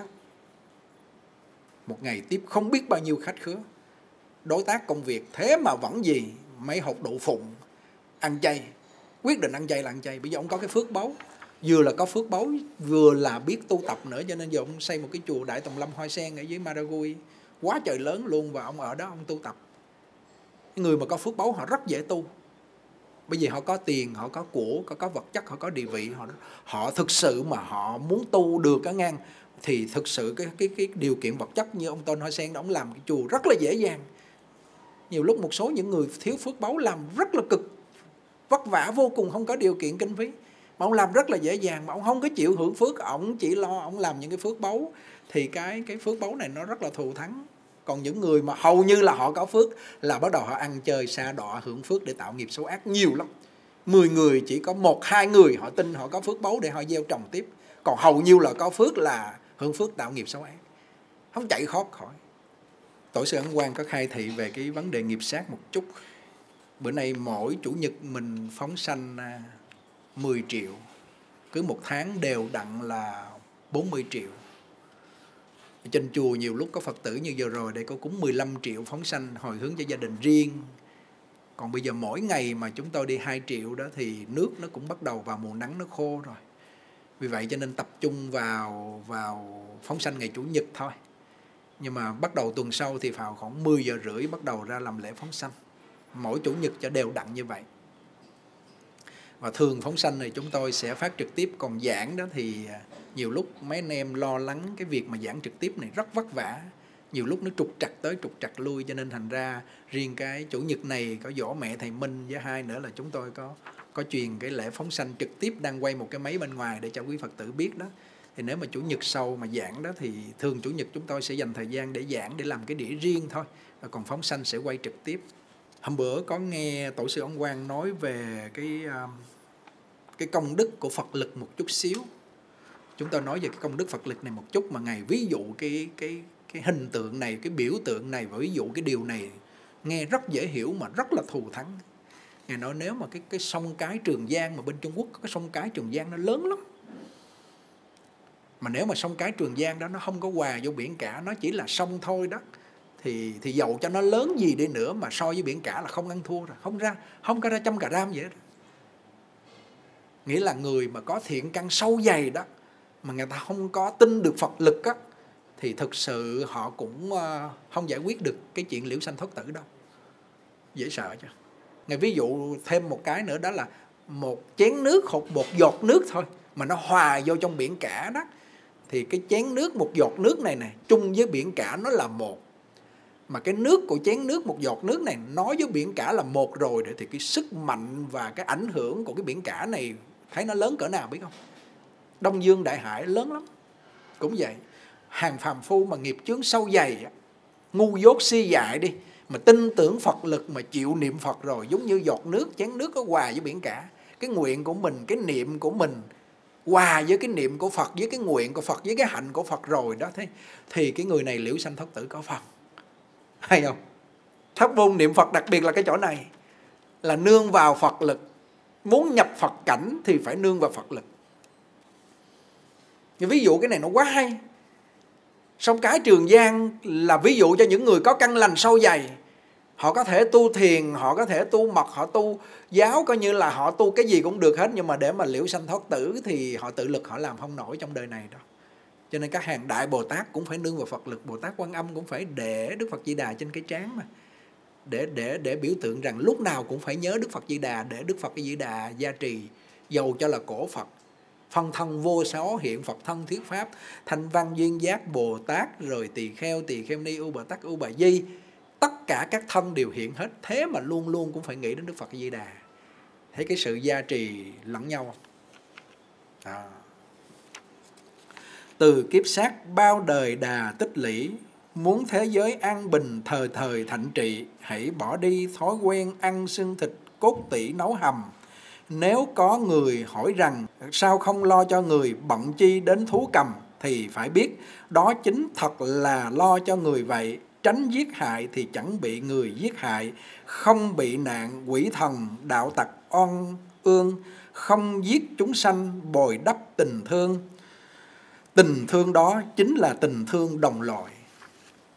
Muốn thế giới an bình thịnh trị không còn dịch bệnh không còn lũ lụt không còn chiến tranh không còn dập cướp không còn à, thù hằn không còn loạn luân gia đình an bình thịnh trị thì nên ăn chay kiên giết phóng sanh.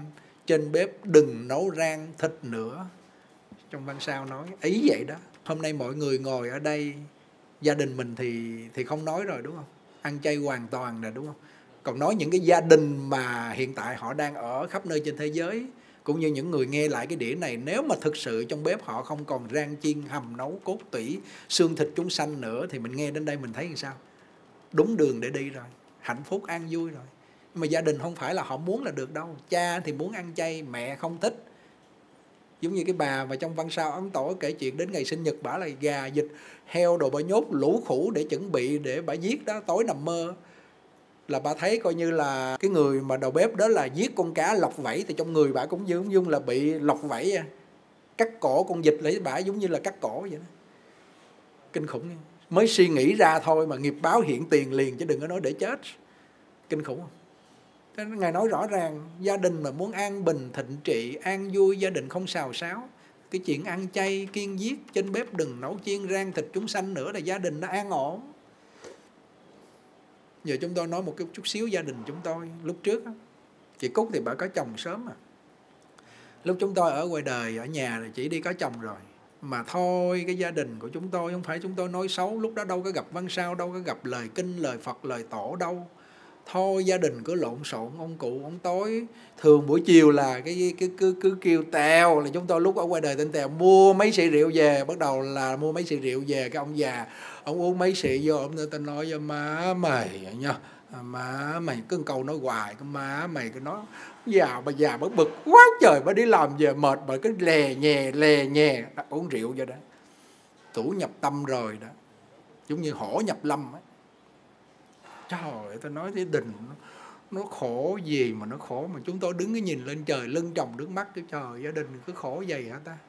Thì ông uống rượu thì bị có mồi ông nhậu rồi bà cụ cũng đâu biết ăn chay đâu. Trời gia đình cứ lộn xộn.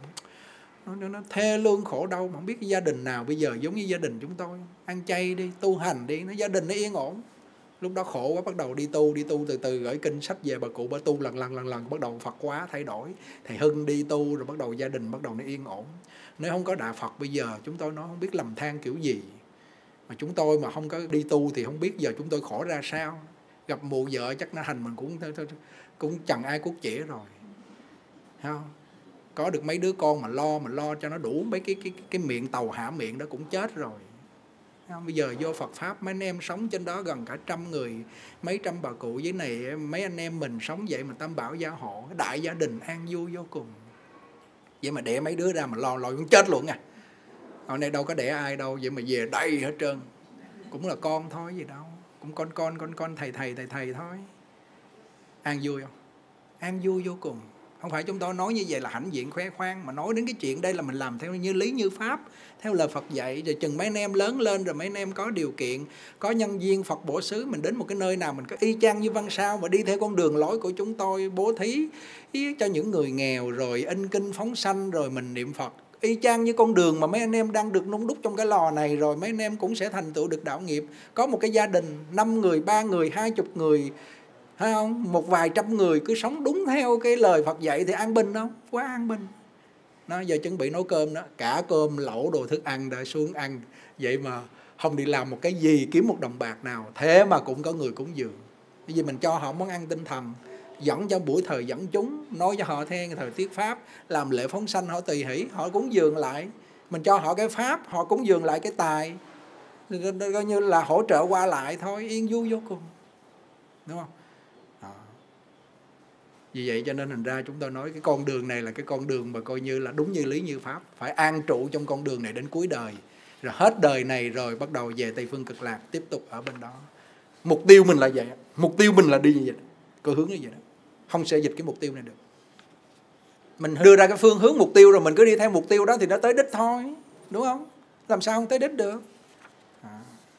giờ nghe nghe đến cái đoạn ấn tổ khai thị về cái việc kiên giết này phóng sanh ăn chay này cái này là chúng tôi soạn ra trong văn sao thì minh đọc ha.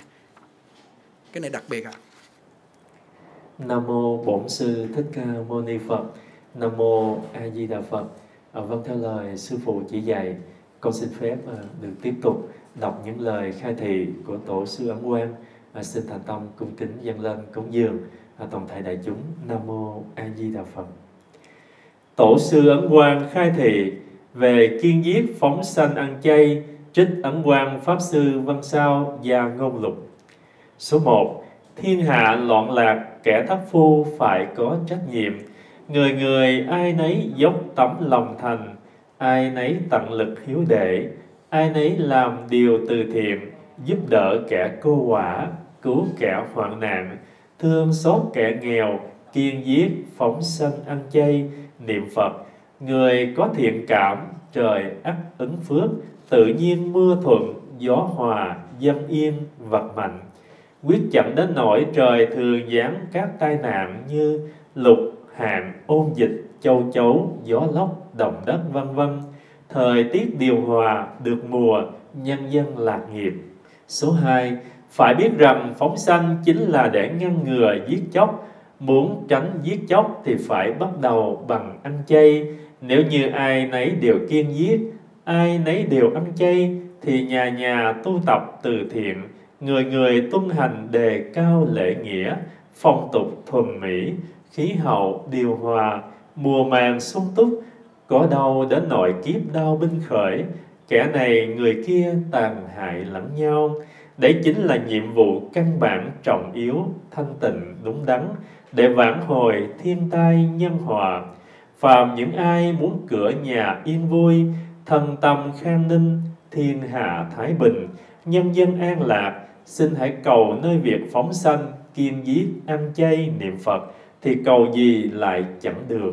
Số 3. Phải biết rằng các loài vật từ vô thị đến nay cũng từng ở địa vị cao sang, tôn quý, oai quyền hiển hách, chẳng biết mượn oai quyền để ban bố ân đức, trái lại cậy quyền tạo nghiệp, khiến cho ác nghiệp chắc chứa như rừng, đọa trong dị loại, miệng chẳng nói được, tâm không suy nghĩ, thân không tài khéo nên mắc phải nạn này. Tuy thịt mềm bị cưỡng ăn là chuyện đã đành, nhưng oán hận đã kết, há chẳng đời đời kiếp kiếp lo báo thù cái oán niệm này chăng? Số 4. Ví dụ, con người chẳng nghĩ đến nỗi khổ của những con vật bị giết, lẽ nào chẳng sợ oán nghiệp kết sâu, thường bị chúng giết lại hay sao? Lại chẳng sợ tàn hại loài vật của trời, trời sẽ đoạt mất phước thọ của mình hay sao? Người nào mong cho quyến thuộc đòn tù, thọ mạng dài lâu, thân tâm yên vui, các duyên như ý, rất nên phát tâm đại bi thực hành phóng sanh, khiến cho thiên địa, quỷ thần thảy đều thương xót tấm lòng thành thương loài vật của ta, sẽ khiến cho những điều mình mong mỏi được thành tựu. Số 5. Nếu cậy mình có tiền tài, mình có trí lực, bày ra đủ cách bắt lấy các con vật, hòng thỏa mãn bụng miệng mình, chẳng kể đến nỗi thống khổ của chúng, hả còn đáng gọi là con người đứng cùng trời đất, thành tam tài chân. Nhưng ta với chúng cùng trong sanh tử, từ vô thị đến nay, cố nhiên, chúng đều là cha mẹ, anh em, thê thiếp, con cái của mình. Mình cũng là cha mẹ, anh em, thê thiếp, con cái của chúng. Mỗi con vật ấy trong khi làm người hoặc lúc trong dị loại từng bị ta giết, ta cũng trong lúc làm người hoặc trong lúc làm dị loài từng bị chúng giết, làm kẻ oán người thân, sanh ra nhau, giết hại nhau. Số 6. Ta nay may nhờ phước thiện đời trước, sanh trong loài người, tất nhiên, nên giải trừ oán hận, tháo mối trói buộc, kiên giết phóng sanh, khiến cho hết thảy những loài có sanh mạng ấy đều được yên ổn, lại còn vì chúng nó niệm Phật hồi hướng tịnh độ, khiến chúng được độ thoát. Nếu như chúng nó nghiệp nặng chẳng được sanh ngay, nương vào công đức từ thiện này chắc chắn khi lâm chung sẽ vãng sanh Tây Phương. Đã vãng sanh rồi liền được siêu phàm nhập thánh, liễu sanh thoát tử, vĩnh viễn thoát khỏi luân hồi, dần dần chứng được Phật quả. Thêm nữa, hết thảy chúng sanh đều là cha mẹ quá khứ, là chư Phật vị lai, lẽ ra nên kiên giết phóng sanh, yêu tiếc mạng sống loài vật, trở nên theo tri kiến thế tục, cho rằng dân thức ngon lành lên cha mẹ mới là hiếu. Kẻ chưa nghe Phật Pháp chẳng biết xử lý luân hồi lục đạo, lầm tưởng đấy là hiếu còn tha thứ được. Chứ nếu là người đã nghe Phật Pháp, giết phụ mẫu thân thuộc quá khứ để phụng dưỡng cha mẹ hiện tại và dùng trong tang tế, vân vân. Chẳng những chẳng phải là hiếu đạo mà còn thành ngỗ nghịch nữa. Bởi vậy, do nghe nghĩa đế chân thật của Phật pháp, những người thông đạt đều chẳng chịu làm theo những pháp quyền tạm của thế tục, bởi những pháp tạm bợ ấy chỉ thuận theo mê tình thế tục mà lập, chẳng phải là đạo thấy thấu suốt nhân quả ba đời của đức như lai vậy trong các ác nghiệp, chỉ có sát nghiệp là nặng nhất. Khắp dưới gầm trời không một ai chẳng tạo sát nghiệp. Dù cả đời chẳng sát sanh, nhưng hàng ngày ăn thịt, tức là hàng ngày sát sanh. Bởi chẳng giết chắc chắn chẳng có thịt. Kẻ mổ thịt, kẻ săn bắt, kẻ đánh cá đều là để cung cấp cho nhu cầu của người ăn thịt. Họ giết hại thay cho mình. Nhưng một ải ăn thịt, ăn chay thật sự là nguyên nhân chẳng nhỏ khiến chúng ta thăng hay trầm. Thiên hạ bình trị hay loạn lạc vậy, những ai yêu thân mình và yêu thương khắp cả mọi người trên cõi đời, muốn được trường thọ an lạc chẳng mắc phải tai họa ngoài ý muốn, phải lấy việc kim giết, ăn chay làm diệu pháp bậc nhất để vãn hồi thiên tai nhân hòa. Số 7 khi con vừa hiểu biết đôi chút liền dạy con trung thứ nhân từ, kiên giết phóng sanh và những sự tích nhân quả ba đời rành rành ngõ hầu tập thành tánh. Ngay từ lúc còn thơ đã chẳng dám giết hại tàn nhẫn, các loài trùng kiến nhỏ nhoi lớn lên quyết chẳng đến nỗi làm điều gian ác, khiến cha mẹ tổ tiên mang nhục lây. Số 8 lại như trong các giới giết trộm dâm dối kinh đều nói phải sanh tâm từ bi, tâm hiếu thuận. Trong giới chẳng thực hành phóng sanh, cứu mạng. Kinh phạm vọng dạy, hết thảy người nam là cha ta, hết thảy người nữ là mẹ ta. Đời đời chẳng lúc nào ta chẳng sanh ra từ họ. Vì thế lục đạo chúng sanh đều là cha mẹ ta. Giết chúng sanh để ăn thịt chính là giết cha mẹ mình. Bởi thế mới nói đạo hiếu của phật giáo, gồm khắp tứ sanh lục đạo từ vô thị trước đến tận vị lai sau. Chẳng thể đem chuyện chỉ biết một đời, một thân ra so sánh được. Biết vậy rồi mà chẳng kiên giết phóng sanh, ăn chay niệm phật, thì làm sao trọn hết được đạo hiếu chí cực, không chi hơn được nữa đây? Sự chính lại còn phải dùng lòng tính nguyện sâu, trì danh hiệu phật, kiên giết phóng sanh, yêu tiếc tánh mạng loài vật đừng làm các điều ác văn làm các điều thiện. Tự hành dạy người cùng tu tịnh nghiệp, thì trí huệ ấy sẽ dần dần thuần. Nếu giữ được như vậy, chẳng để mất. Vãng sanh tây phương, thì huệ ấy càng dễ thuần. Đến khi phiền não hết sạch, phước huệ viên mãn là huệ đã thuần đến cực điểm, bèn viên thành phật đạo. Thế nhân hay lầm tưởng mình có trí huệ chẳng biết rằng trí huệ đó là vàng còn trân quặng trọn chẳng sử dụng được. Cần phải nung luyện cho tiêu sạch hết mọi tạp chất thì mới có ích. Đại ý như thế, mong hãy dốc chí. Người học phật tận lực thực hành nhiệm vụ. Này thế nhân đa phần miệng lưỡi nhanh nhạy, ăn nói hay ho, bóng bẩy, trong bụng thói nát, vô ích, thật đáng buồn. Số 10 khi đứa con gái của ông Trương Chiết Tiên ở Vân Nam đi lấy chồng, nhà chàng rể biếu một cặp ngỗng để làm lễ điện nhạn. Ông ta bèn đem chúng phóng sanh ở chùa Văn Thê trong núi Hoa Đình, đã được ba năm rồi. Cặp ngỗng của ông ta mỗi sáng tối khi đại chúng lên chánh điện tụng kinh, chúng đều đứng ngoài chánh điện vương cổ ngắm Phật. Tháng tư năm nay con trống chết trước, người ta cũng không để ý. Sau đấy con ngỗng mái bỏ ăn mấy ngày. Nó đến nhìn phật. Thầy duy na khai thị, dạy nó cầu vãng sanh. Đừng luyến tiếc cõi đời. Thầy ấy bèn niệm phật mấy chục tiếng. Ngỗng bèn đi nhiễu ba vòng, vỗ hai cánh một cái rồi chết ngay. Do vậy, ông chiết tiên bèn viết bài ký sự về sự vãng sanh của cặp ngỗng trắng. Ôi lạ lùng thay hết thảy chúng sanh đều có Phật tánh, đều kham làm Phật, ngỗng còn như thế, há lẽ người chẳng bằng chim ư? Nam mô A Di Đà Phật. Thưa quý vị, những cái đoạn này là chúng tôi à, xem trong văn sao rồi trích lục ở trong uh, gia ngôn lục trích từng đoạn từng đoạn và những cái mẫu chuyện như là cái mẫu chuyện của cái đôi cặp ngỗng này quý giá dữ lắm. Quý vị mà đi tìm trong văn sao ba bốn bộ cuốn sách mà dày như vậy mà để ra những cái cái cốt tủy này à, mất thời gian dữ lắm. Mà khi mình nghe được như vậy rồi mình sanh ra cái công đức tùy hỷ thấy ngày luận lý đến cái việc phóng sanh nó thông ba đời giết lồi súc sanh để cúng tế cha mẹ trong đời này hoặc cho cha mẹ ăn đó là giết cha mẹ của quá khứ để phụng dưỡng cha mẹ hiện tại.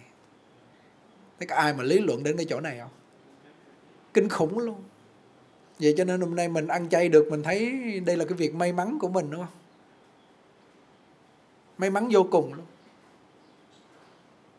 Cho nên trong văn sao, Ấn Tổ chỉ có Ngài mới nói về cái việc phóng sanh nó xác quyết mà nó sâu sắc như vậy. Nói với pháp môn tịnh độ nữa thì thôi tuyệt.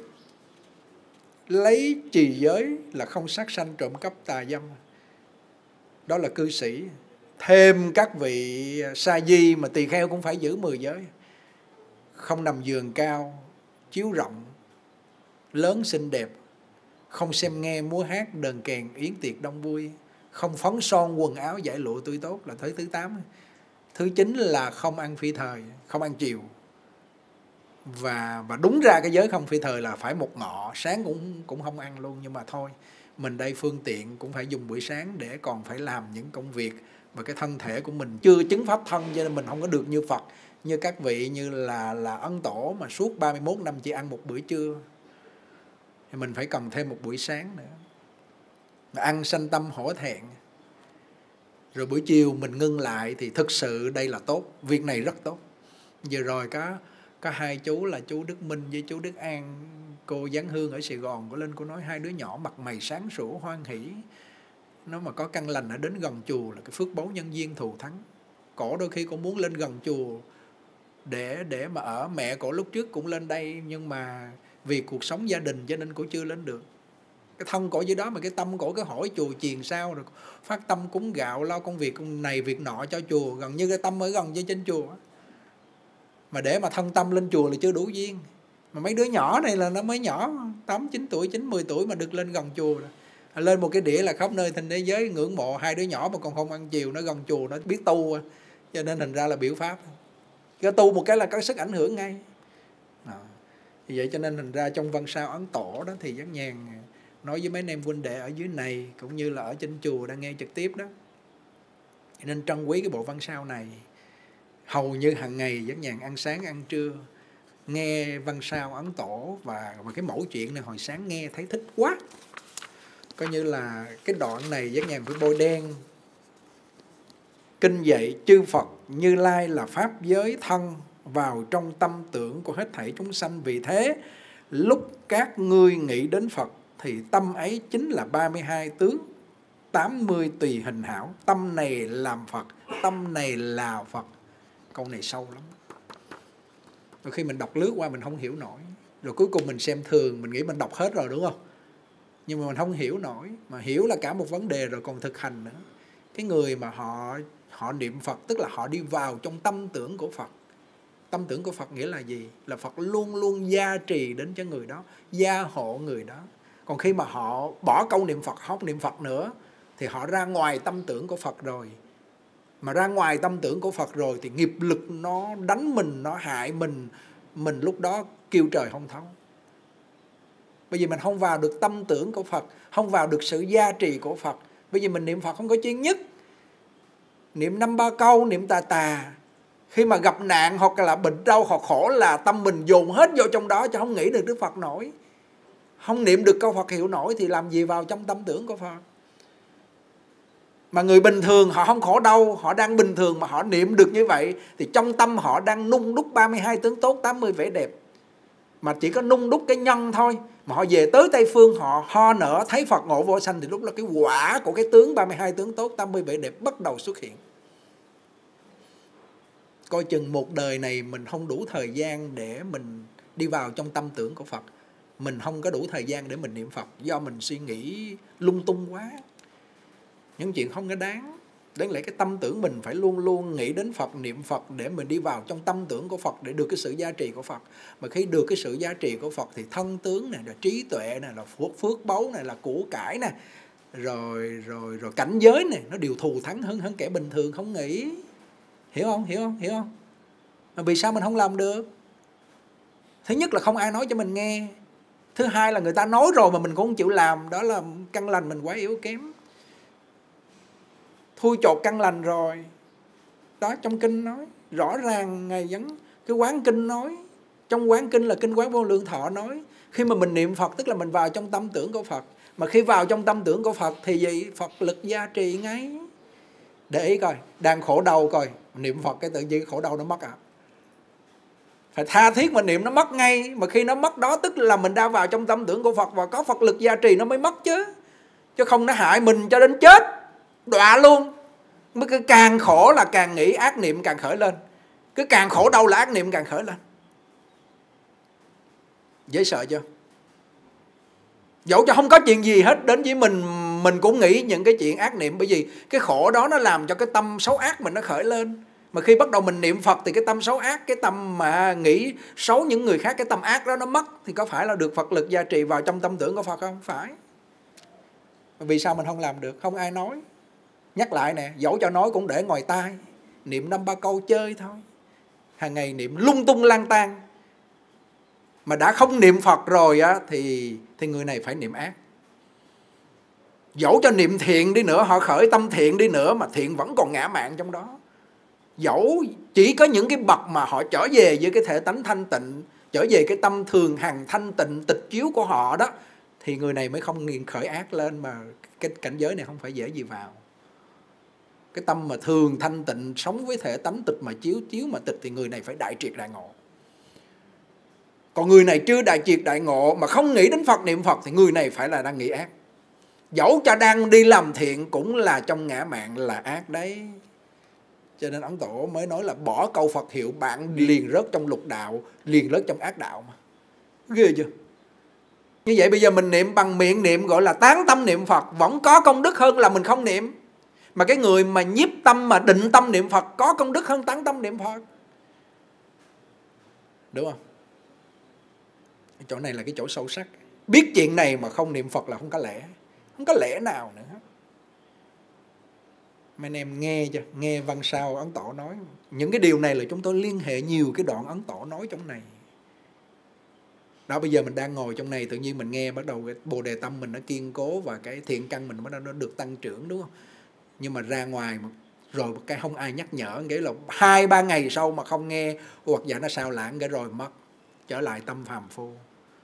Mà tâm phàm phu rồi là phải tạo nghiệp trong sát na luôn. Sát chậm dâm dối nó liên liên liên liên liên như vậy. Ghê lắm chứ không phải đơn giản đâu. Mình là phàm phu mà, nó đang nằm ở trong cái cửa ải của phàm phu mà. Mà nó nó nó nâng cao cảnh giới thì buộc người này phải là niệm Phật thôi, chứ còn vô cái cảnh giới tịch mà chiếu chiếu mà tịch đại triệt đại ngộ thì đời này tìm không ra mình không có cửa ra còn mà để không không thì nó rơi trong niệm ác đó. Còn không là vô ký. Không nghĩ thiện không nghĩ ác. Mà cái vô ký này nó bước qua cái nghiễn cửa của cái cái thi niệm ác là cực kỳ nhanh luôn. Nhanh cực kỳ giống như trở bàn tay. Mình hiểu như vậy rồi mình không niệm phật thì mình phải rớt chỗ niệm ác. Mà cái niệm đã khởi lên ác rồi thì nó cứ theo cái đà đó để bắt đầu đời sau nó phải vào cõi ác thôi. Đúng không? Ừ, chắc chắn là như vậy mà vì sao người ta lại có phước báu, người ta làm phước rất dễ dàng, người ta niệm phật rất dễ dàng. Nghề một phần là họ chịu khó, chịu thương. Họ tha thiết, họ muốn liễu sanh thoát tử, một phần người này cũng có căn lành đó, họ mới làm được. Còn không có căn lành, họ làm không được đâu. Khó lắm. Thôi, cái lá thư này 10 trang mà rút còn còn lại 4 trang để tuần sau. Hết giờ. Bây giờ là 10 giờ 27 phút để ra phóng sanh. Để tuần sau tuần sau, được tuần sau giảng, rồi đến 10 rưỡi phóng sanh rồi làm cái đĩa để phát lên trên mạng. Lâu quá rồi chưa phát trực tiếp, hôm nay phát lên trực tiếp, mà mỗi lần phát trực tiếp thì quý thầy chuẩn bị rất là vất vả. Nhiều lúc nó rớt lên rớt xuống nữa. Cho nên hôm nay giảng trực tiếp để cho đại chúng nghe. Mà thực sự hôm nay cái buổi giảng chúng tôi thấy thấm thía trong văn sao ấn tổ, từng đoạn, từng chữ, nhất là chú duyên ông nói, mỗi lần con xuống dưới dưới dưới phòng để duyệt đĩa lại là con nghe từng chữ, từng câu. Bây giờ ông đang nghe ông quay phim xong rồi xuống ông duyệt lại cái đĩa, ông nghe từng chữ, từng câu trong đó nữa. Kêu nó thấm, từng chữ, từng câu nó thấm trong văn sao, nó thấm. Tức là mình đang đang tưới cái cái cái pháp bảo, mình đang tưới cái cái cái cái cái pháp vị của văn sao vào trong cái thiện căn bồ đề tâm của mình. Quý lắm. Quý lắm khác không? Khác hơn hồi nãy giờ mình đi lòng vòng ở bên ngoài không? Mình đang ngồi trong cái hội trường trong cái đại chúng cũng như ở trên chùa hoặc những người đang nghe thấy nó khác hơn là mình không nghe. Không khác lắm. Khác lắm. Trong người mình nó có một cái cái pháp vị trong đó cái là nó nó, nó an vui trong đó. Nhiều lúc cái từ trường này nó cái kéo dài hai ba ngày năm bảy ngày rồi mình tiếp tục về nghe pháp mình tu là cái an vui này nó cứ kéo dài kéo dài. Cho nên cảnh giới cực lạc là gì thuần vui không khổ cái niềm vui cùng cực là suốt ngày. Nghe cái cây cũng thuyết pháp, suối reo cũng thuyết pháp, chim hót cũng thuyết pháp, rồi đức phật cái di đà cũng thuyết pháp. Suốt ngày chỉ ăn pháp vị thôi. Còn mình ở đây chỉ là ngủ dục. Ăn với ngủ, ăn với ngủ, ăn với ngủ. Ăn đoàn thực nhai vô thì no quá, chịu không nổi mà. Đói thì cũng chịu không nổi, thì cứ làm phàm phu mãi thôi còn ở trên đó là gì? Họ tưởng ăn là có ăn. Đó là tưởng của của tông tâm tưởng thôi chứ thực sự họ ăn cái pháp vị của đức phật a di đà hiện đang thuyết pháp trên đó, họ no rồi. Thấy không? Đó. cái cảnh giới nó khác như vậy đó. Bây giờ mình phải tập lần để gì? Để mà mình đi về cảnh giới trên đó. Chứ không phải là là lầm lỡ chui vô bụng mẹ địa ngục máu 9 tháng 10 ngày rồi ra làm kẻ phàm phu tục tử này nữa đâu. Làm một đời này thôi chứ không làm đời thứ hai nữa đâu. Quyết định nó như vậy được chứ, Phật cũng là một phàm phu như chúng ta mà Phật thành Phật. Có người hướng dẫn và ngài quyết tâm. Còn mình cũng là một phàm phu, cũng sẽ thành Phật nếu có người hướng dẫn và quyết tâm. Quyết tâm đó là thiện căn mình phải sâu dày, mình kiên quyết đó. đó là cái việc hôm nay à, dân nhàn chia sẻ trong một tiếng rưỡi, trong 9 giờ đến 10 giờ 30 phút. Thôi giờ đây đại chúng hồi hướng xong ra phóng sanh nguyện à, đem à, công à, đức này hướng về khắp tất cả đệ tử và chúng.